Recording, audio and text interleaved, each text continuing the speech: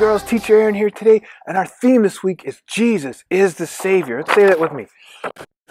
Jesus is the Savior, right? What a wonderful truth and reality that is. And our verse this week reminds us of that wonderful truth, right? But before we get into the verse, I want you to hear this sound and tell me what you think it is.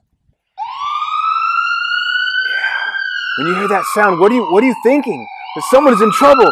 Someone needs to be rescued, right? That could be the sound of an ambulance or a fire truck coming to save somebody. But you know, our verse reminds us of something far greater that need to be we need to be rescued from. And it's found in the book of Luke, chapter 19, verse 10. And, and if you have this Bible at home, or any other Bible, you can look at it. But this Bible is found in page 973. And it says this For the Son of Man came to seek and to save the lost. Luke 19:10. That was written by Luke, one of Jesus' followers, and he wrote that, um, writing down the things that Jesus had said, and that was the words of Jesus. And um, it's found in chapter 19, verse 10, and I have written on a card for us to look at here.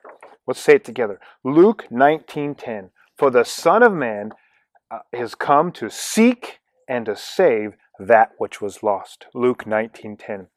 The Son of Man is a title given to Jesus. Another way we can call Jesus is the Son of Man.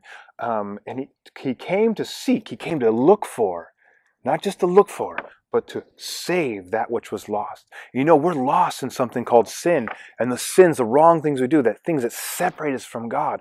You know, Jesus came to rescue us. You know, if you have trusted in Jesus as your Savior, you know you can have that joy and that peace that you are rescued from sin, that, that you're no longer lost, and you can have that joy of being able to tell other people that how they can be rescued from sin. You know, if you have never trusted in Jesus, you can ask Him. You can simply say, Jesus, forgive me of my sins. I trust in in you. I believe that you died for me and you rose again. You can do that anytime, any place to ask Him.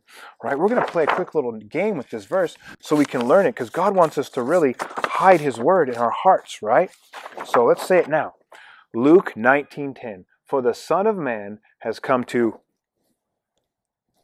and to save that which is lost. Luke 19:10. I really hope and pray that you guys learn this verse, you say it many times and really hide it in your heart and learn its meaning that God, Jesus has come to rescue you from your sins. Just like our theme says this week. Say it with me. Word up. Jesus is the savior.